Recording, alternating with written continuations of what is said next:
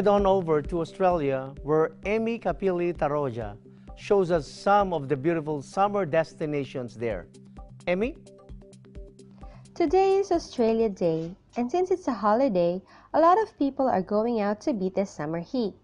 Many of us drove from Brisbane going here at the Noosa Heads Sunshine Coast in Queensland. Join us as we enjoy and explore the blue waters and the beautiful nature of Noosa Spit Recreation Centre.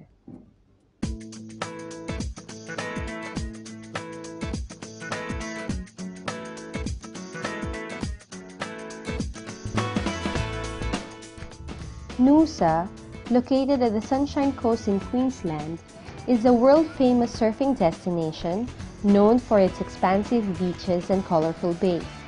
One of the beautiful attractions in this area is the Noosa Spit. A spit is a section of land that extends into a body of water.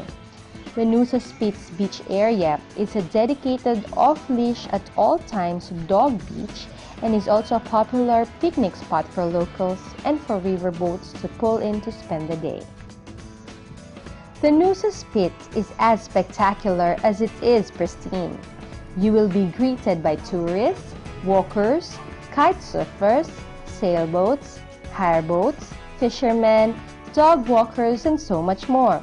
At low tide, the massive sandbars appear and dozens of people walk out onto them and enjoy this amazing place. On our way back to Brisbane, we decided to pass by the Point Cartwright Lighthouse in Mooloolaba. Point Cartwright offers some of the most stunning views you could ask for. Look north, south, east, and west, and you're guaranteed a spectacular sight.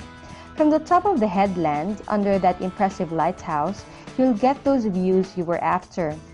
Looking in a north to west direction, you'll catch sight of Mooloolaba, Mount Coolum, Alexandra Headland, Maroochydore Beach, and the beginnings of Cotton Tree.